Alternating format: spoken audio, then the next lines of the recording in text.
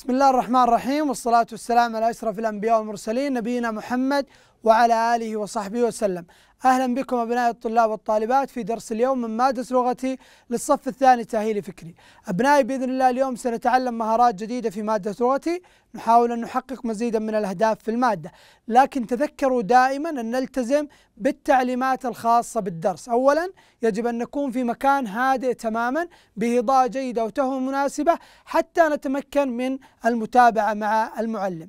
كذلك احرصوا أن يكون بصحبتكم أحد أفراد الأسرة البالغين لمساعدتكم في عملية التعلم. أيضا لا تنسوا أن يكون كتاب المادة معكم مادة لغتي وقلما حتى نتمكن من حل التدريبات في الكتاب سويا. درسنا اليوم أبنائي هو عن كيف نرتب أحداث قصة. كيف نكون قصة كيف نرتب أحداثها حتى تكون قصة جميلة ومثيرة للانتباه. أولا القصة هي عبارة عن مجموعة من الأحداث أو الأفعال التي يتم سردها بشكل بحيث تؤدي إلى غرض معين أو هدف معين منها هدف تعليمي هدف الإثارة والمتعة هذه كلها تدور حول أهداف القصة. إذا القصة مجموعة من الأحداث أو الأفعال. مجموعة من ماذا؟ من الأحداث أو الأفعال التي تسرد بهدف المتعة والإثارة. إذا يتم سرد القصة إما بهدف تعليمي أو بهدف المتعة والإثارة. الآن سنتعرف على مثال على قصة موجودة لديكم في الكتاب ثم سنحاول أن نتعرف على هذا التعريف من خلال القصة. لديكم هذه القصة موجودة عندكم في الكتاب يمكن أن تفتحوا الكتاب على هذه القصة حتى نتابع سويا. سأقوم بقراءة القصة ثم نتعرف على تفاصيل هذه القصة الأحداث والشخصيات وموضوع هذه القصة. حاولوا أبناء عندما تستمعوا إلي أن تضعوا إصبعكم على الكلمة التي تستمعون إليها من المعلم حتى نتمكن سويا من فهم القصة. بعد يوم ممطر قررت فاطمة أن تصنع عشا للعصفور من المطر فأخذت ألواحا من الخشب ثم بدأت في تركيب الألواح باستخدام المطرقة والمسامير. بعدها لونته بلونها المفضل وهو اللون الأحمر.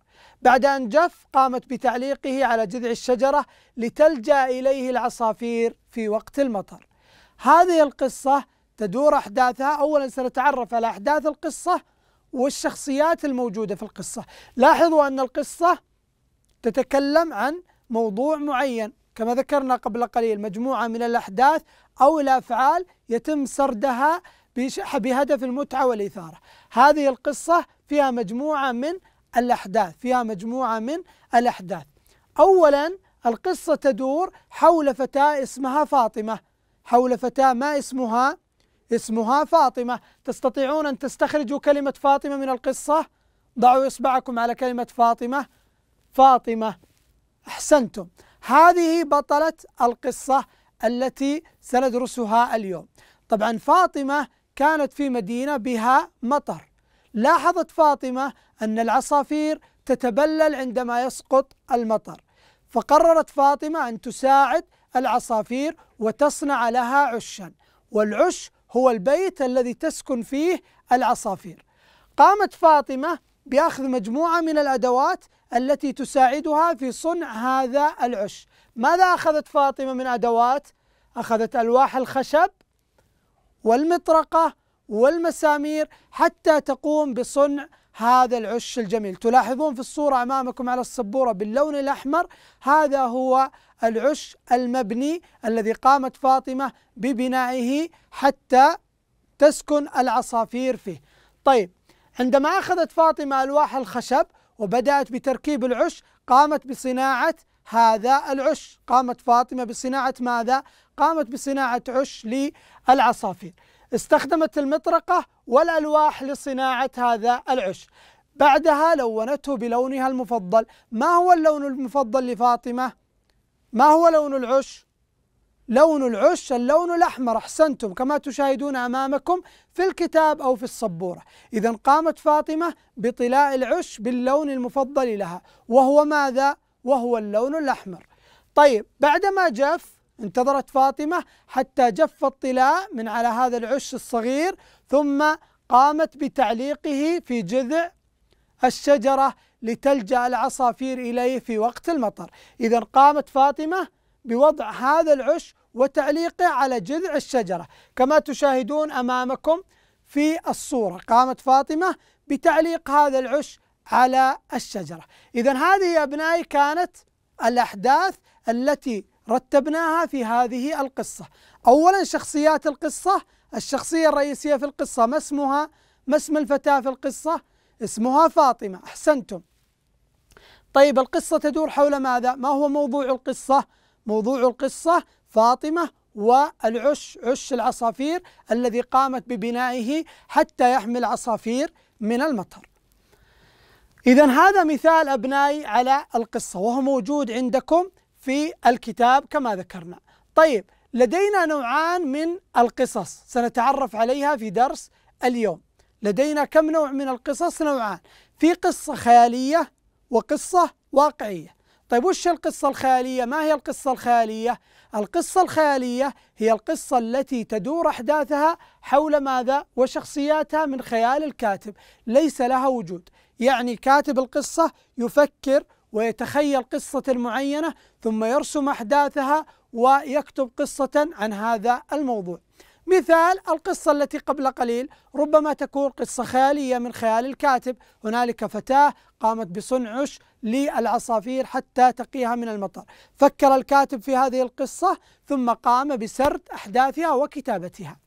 طيب القصة الثانية أو النوع الثاني من أنواع القصص قصة واقعية. ما معنى واقعية؟ أي أن أحداث هذه القصة وقعت بالفعل. مثال قمت أنت وعائلتك بالذهاب إلى مكة لأخذ عمرة.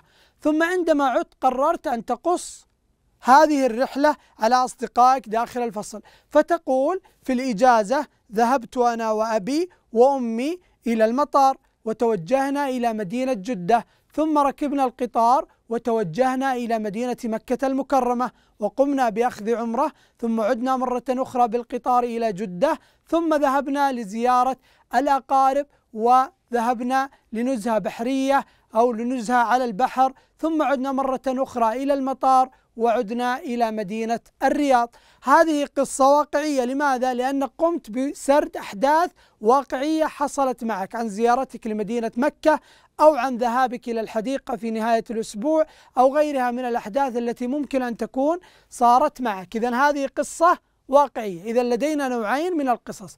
قصة خيالية قصة واقعية. القصة الخيالية تكون أحداثها غير حقيقية ولكن من خيال الكاتب. أما القصة الواقعية فتكون أحداثها واقعية. طيب ما هي عناصر القصة؟ تكلمنا قبل قليل في قصة فاطمة والعش أن القصة لها مجموعة من العناصر تتكون منها. أريدكم أن تفتحوا الكتاب على قصة فاطمة والعش ثم ننظر هل هذه العناصر متواجدة فيها أو لا. أول عنصر من عناصر القصة الفكرة. الفكرة التي تدور حولها هذه القصة. ما هي الفكرة؟ الفكرة تدور حول الفتاة فاطمة ومساعدة العصافير وصناعة العش لهم هذه فكرة القصة إذا القصة تدور حول صناعة العش الذي يقي العصافير من المطر طيب الأحداث ما هي؟ ما هي أحداث القصة؟ أنه عندما سقط المطر ولاحظت فاطمة أن العصافير تتبلل من المطر قررت أن تقوم بصناعة عش لهذه العصافير حتى تختبئ فيه ويحميها من يحميها هذا العش من المطر. ممتاز. إذا هذه أحداث القصة. طيب السرد. السرد هو ترتيب القصة من بدايتها إلى نهايتها بحيث تكون مرتبة بحيث تكون القصة مرتبة لا يسبق حدث الحدث الآخر. الزمان والمكان أي الزمان الذي وقعت فيه القصة والمكان. مثال ذهبنا إلى مدينة جدة في عطلة نهاية الأسبوع. إذا الزمان هو عطلة نهاية الأسبوع والمكان هو مدينة جدة. ثم تدور أحداث القصة التي نريد أن نحكيها. الأشخاص هم الأشخاص الموجودين في القصة. مثالنا السابق كانت من البطلة التي قامت بصناعة العش ما اسمها فاطمة. أحسنتم. إذا فاطمة هي الشخص الموجود في القصة. طيب والبناء؟ أي كيفية بناء القصة؟ كيف قمنا بكتابتها من أول القصة إلى نهاية القصة؟ هذه عناصر القصة هذه عناصر القصة. طيب الآن سنقوم بتكوين قصة بالاستعانة بالصور والجمل التالية. هذا التدريب عندكم في الكتاب. نريد سويا أن نلاحظ الصورة نقرأ الجملة في الأسفل ثم نحاول أن نكتب قصة عن هذا الموضوع. طيب صورة الجملة المكتوبة تحتها في الصباح كان الطريق مزدحما. طيب الآن نريد أن نكتب قصة عنها. عندما خرجنا إلى المدرسة في الصباح كان الطريق مزدحما لذلك حرص أبي على الخروج من المنزل باكرا حتى لا نتأخر عن موعد المدرسة. إذا هذه قصة تدور أحداثها حول ماذا؟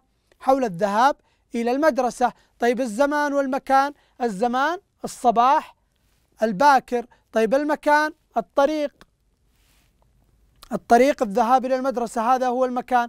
طيب الأشخاص أنا وأبي عندما ذهبنا إلى المدرسة. إذا هذه هي مثال مصغر على قصة.